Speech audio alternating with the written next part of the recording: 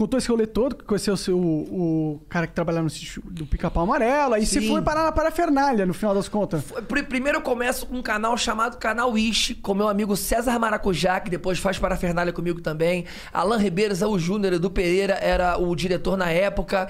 E a gente criou um canal que era ali em Realengo. E a gente começou a ficar famoso bem na Zona Oeste ali mesmo, bem em Realengo. A gente começou a fazer uma coisa muito inspirada no Hermes e Renato. Que é uma das coisas que me fazem mais. que me, fizeram mais rir quando eu vi assim, impactante na internet. Sim. O, o do padre que, que, que, Quemedo. medo lá, Quemedo, que é. medo, né? Que era o nome. Cara, como eu Quebra chorava meu de dedo. aquele- Quebra meu Por dedo com a força. Quebra meu dedo. Pedreiros da puta que pariu, cara. Hermes Renato. furou o buraco? Furou o buraco. Pô, furei aqui o buraco aqui, ó. e pra beber? Que tinha na pizza, o cara perguntava. Porra, muito maravilhoso. Hermes e Renato, ídolos. E, e a gente fazia muito nesse formato, o canal Ish, muito... Isso foi em que ano, cara? Cara, porra, eu nunca No sei o começo? ano. Eu sempre jogo, sempre... Ah, cara, há 10 2012? anos. Do- 2011?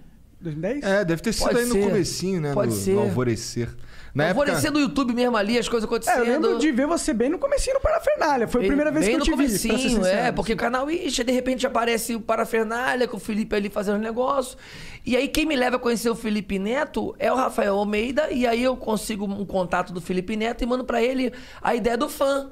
Que é o primeiro vídeo que eu faço. Sim. E quem faz comigo, o artista, é o Rafael Almeida, que na época fazia Malhação, era protagonista.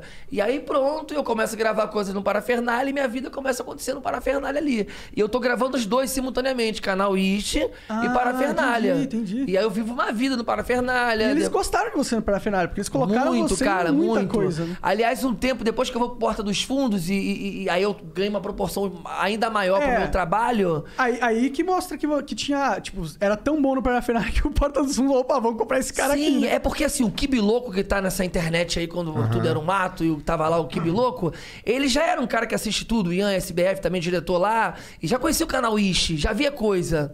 É, E aí rolou um interesse do, do Kibi que já era quase meio que antigo, assim, de colocar. E o, o Porta dos Fundos já tinha acontecido, e eles queriam colocar o elenco, pessoas novas e tudo mais, e o Kibi me convida pra poder fazer parte do Porta dos Fundos. Nesse tempo que eu Porta dos Fundos, e cara, vou te falar, é um dos lugares que eu mais amo trabalhar.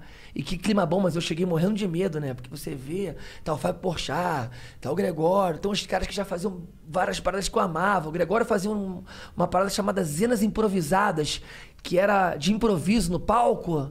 Que quando eu vi, irmão, eu falei, caralho, como é que os caras fazem essa porra? Que isso, na Sim, hora? Que foi muito são muito impactante. Os barbichas. Sim, sim. O barbicho daquele imitose. Aham. Você viu o imitose Aham. do barbichas? Que os caras fazem certinho.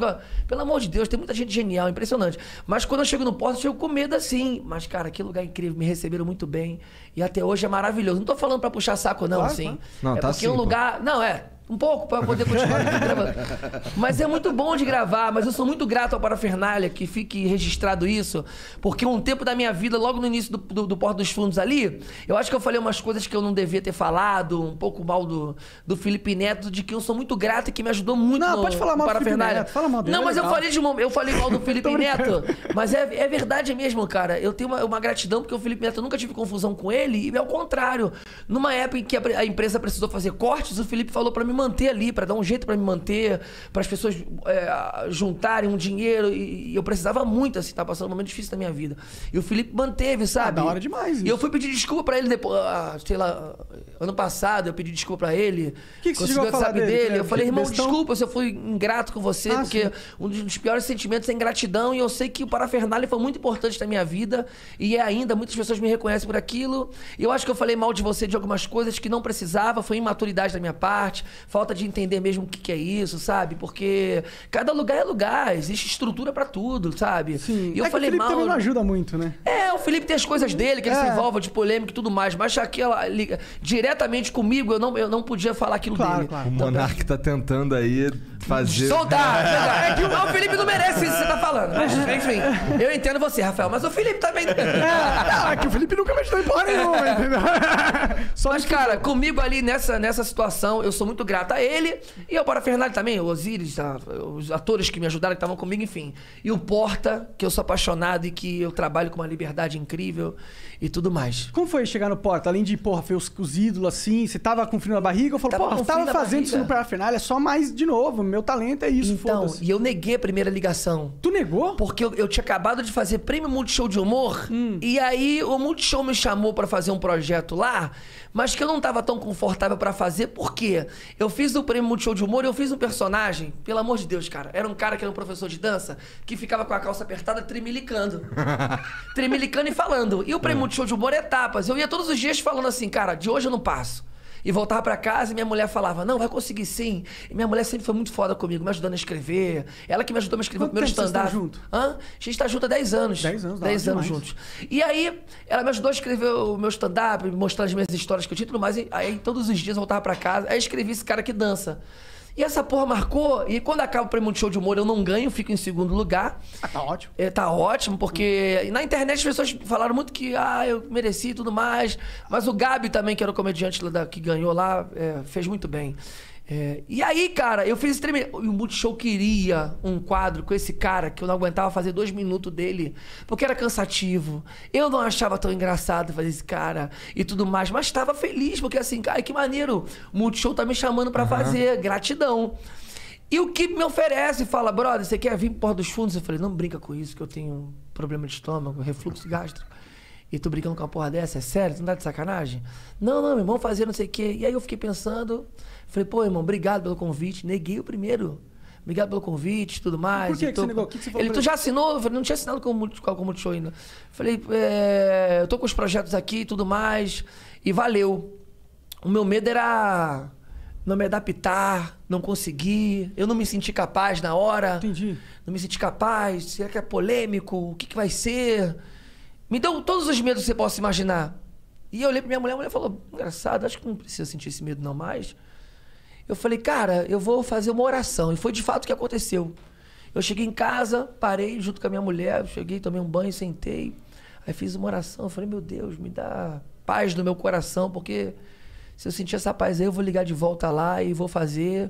Porque a questão de verdade não era dinheiro, apesar de estar precisando muito, tava passando um momento mais difícil da vida. Eu tive uma loja que faliu, cara. Ah, é? Fiquei com uma dívida de 400 e poucos mil. Sério? Como que paga isso? Brother, mas eu vou te falar, eu tinha sempre o dinheiro todo mês pra pagar as parcelas, que era com meu sogro que tinha assumido essa dívida. Eu tinha sempre as parcelas de 4 mil e pouco de coisas que eu fazia, de um stand-up aqui. Paulinho Serra, comediante, me chamava sempre pra fazer com ele, me ajudava muito, Paulinho Serra. Me ajudou muito. E isso tudo eu arrumava um dinheiro pra pagar. Mora, morei numa casa alugada, depois tive que morar de favor na casa da minha sogra. Fui perdendo as paradas. Caralho, deve ter sido uma. Foi uma, barra, aí. Foi uma barra, mano. Foi uma barra. Imagina. Era um difícil. Era loja de quê? Era uma loja de roupa e todos os modelos de tem na All-Star. A loja era irada. E não era uma franquia. Eu dei o nome. Só Star. Nome ruim, né? Também. Vai caralho. Só Ué, Star. mas pô. provavelmente não foi por isso que faliu, né? Não, eu acho que as pessoas dividiu, abriu um outro shopping do lado. O ponto não tava bom. É, o ponto ali não era legal. Porra, foi pior que eu abri a loja assim, dia 22 de dezembro. Então, 23, 24 de dezembro, tem gente- pessoal comprando pra caralho. Natal, vendi muito. Eu falei, mano, vou ficar milionário com essa loja, amor. A gente se abraçou. Dia 2 de janeiro, ninguém na, na loja. Eu falei, o que aconteceu? Que o pessoal não tá vindo. Mas só tá vindo gente pra trocar os tênis. E aí, 3 de janeiro, nada. Aí, fevereiro, nada, não vem ninguém. E eu falando, pô, a loja é tão bonita, tem os tênis aí, pessoal. Tive que fechar. Que merda. Brasil é foda. É, mano, tive que fechar e fazendo tudo certo. Mas enfim. E aí eu, a- o Porta dos Fundos aparece. Eu já tô fazendo minhas coisas, canal e tudo mais. Mas o dinheiro era pouco pra tudo que eu tinha. Já casado, dois filhos. E... Sim, uma família, Mas tipo- ali com fé de que as coisas iriam acontecer. Muito apoio da minha mãe, muito apoio da, da minha mulher, pessoas ajudando. Quando eu entro pro Porta, eu entro com um salário bom, já, que me ajuda a pagar um aluguel. Já saio de favor para pagar o aluguel. E a- a- a- o Porta me dá uma exposição que eu começo a fazer campanhas. E aí eu vejo um dinheiro que eu falei, caralho, que porra é essa? Entendi. Aí, mas tudo que vinha, cara, de dinheiro, de comercial, a minha mulher ia pagando tudo, a gente ia pagando tudo. Então, às vezes, eu tava com muito dinheiro na conta, vendo ele indo direto pras dívidas e eu ali Deve ser uma comendo pão frito. difícil, cara. Eu não sabia Que é que uma tinha essa delícia, né? Mas que é bem porque só tinha isso pra fazer Ah, mesmo. tô ligado. Fura o pão, bota um negócio de empana, bota uma carninha moída, frita lá, tu come o negócio. Maneirão, mas tinha, pô, mas tinha 150 mil na conta que tá indo pra pagar o shopping lá, pra pagar uma parte. Tá indo aí, não dá pra comprar uma pizza. E eu passei por isso. Caralho, que barra, mano. É, eu, mano, eu já passei barra. por situações difíceis na minha vida, mas nunca desse nível, assim, pra Foi, ser foi, sincero. foi Tu sinistro. ficou lá, tu essa dívida aí, tu conseguiu quitar lá Quitei tudo, irmão. rápido? Quitei, quitei. É de- Quando entrei no Porta, foi indo. Tá. Fui, fui pagando. Foi aparecendo muita coisa, eu fui quitando as coisas. E a gente foi fazendo tudo com muito cuidado, com muito jeitinho. E, aí pa- a sua carreira deu um. um- E aí fui fazendo coisas, recebendo convite, sendo reconhecido de uma, de uma maneira muito grande. Aí eu venho um convite pra fazer meu, meu, meu stand-up com um dos maiores produtores teatrais do Brasil, que é o Sérgio Said, e que eu já conhecia por tudo que ele faz de divulgação no Rio de Janeiro, que é muito grande e é conhecido por todos os produtores do Brasil. E é o mesmo produtor do Fábio Porchat, do So- Paulinho Gogó, Entendi, o cara- Marcos Vera e tudo mais. ao máximo. Mano, rádio. Eu falei, cara, é mentira. Eu converso com ele, o cara pega e, e faz uma divulgação foda no meu trabalho, meu stand-up começa, aí eu começo a encher, fazer turnê na Europa, tudo mais. Tem meu show de stand-up, muito irado, e a vida começa